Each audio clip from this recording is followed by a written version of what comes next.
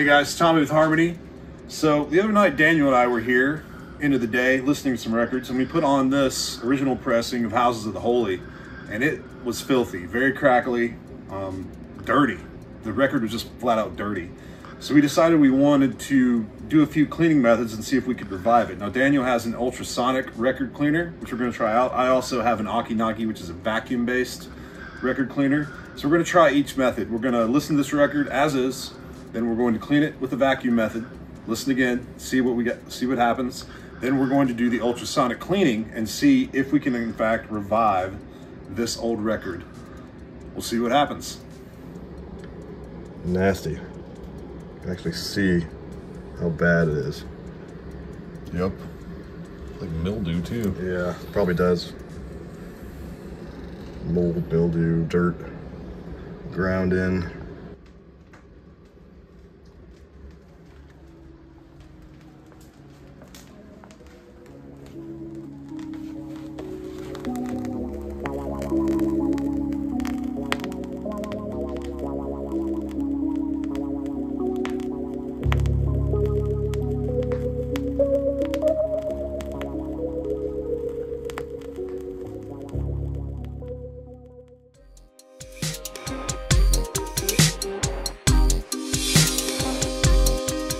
Try out the Okki Nokki. A, it's got a vacuum and soft brushes. We get the cleaning fluid that they provide to get the big stuff off.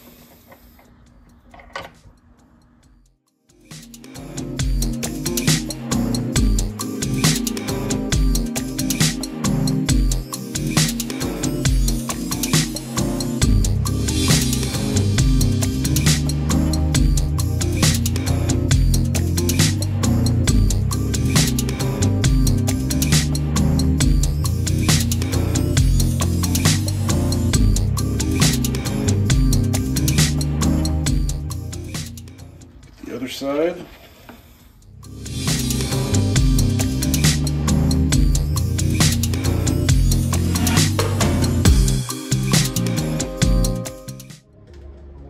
Looks clean.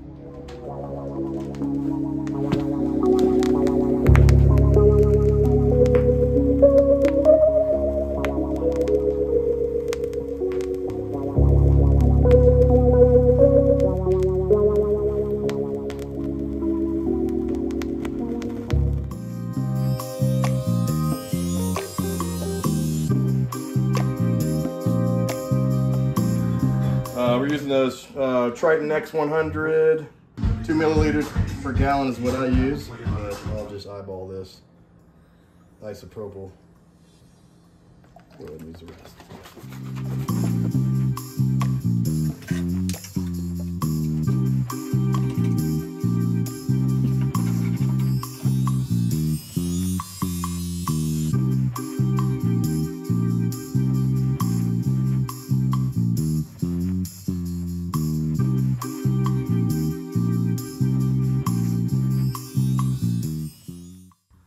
So you can see the water now after cleaning 25 records or so, how much grime and dirt came off of them. Tell us about this machine first, Daniel. Okay, first of all, not very fancy. It's just an industrial ultrasonic cleaner that has been adapted to clean records by Vevor. Vevor. So what's ultrasonic mean exactly in this regard? What is it doing? Uh, high frequency sound waves, um, transducer, vibrates the water. And the water gets warm too, right? Yeah, it has a has a heater, So you got a heater, gets the water warm as well as the not warm enough to melt the records, but warm enough to help with the cleaning process. Um, so we have a detergent. Triton X100 is some kind of pharmaceutical grade detergent that leaves very little residue, if any at all. okay. Doesn't take much. And then uh, how long does the record stay in there to get clean typically? Typically 15 minutes to a half an hour is good enough. You can do it longer if you want. I find that half an hour is a good time. It works, Half an hour. yeah, for most. So All right. Ultrasonically cleaned. Let's see what happens.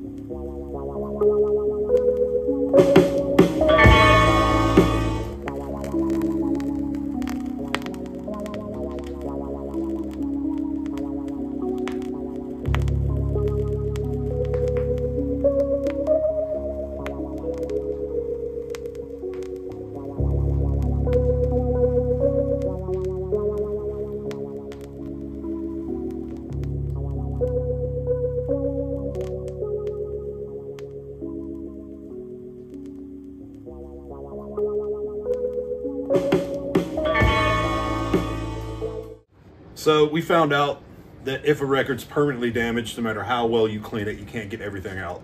You heard with the last listen that it is a little scratchy still. Better than it was, but it's got permanent damage.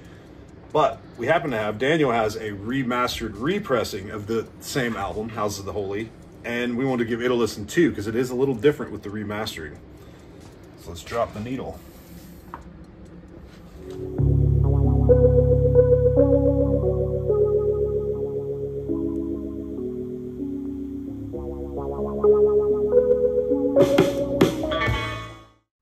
So we got some of these rice paper static free record sleeves. So for two reasons. One, it's a better way to store than the paper. The paper usually that comes with a record will scratch it over time. It'll hold dirt. Static will also hold dirt, which then scratches your records. So these being static free and a better paper to store them in is why we added these. Also, that way we know which records we've already cleaned. So as we're going through this process and cleaning more records, we will know, oh, that one's already been cleaned. Um, this one particular is a 1960s pressing, 69, I believe. Uh, Jimi Hendrix, Are You Experienced? Original pressing. This one really came out great after it got ultrasonically cleaned, which is awesome to like go hear these original masters the way they were intended. But there you go.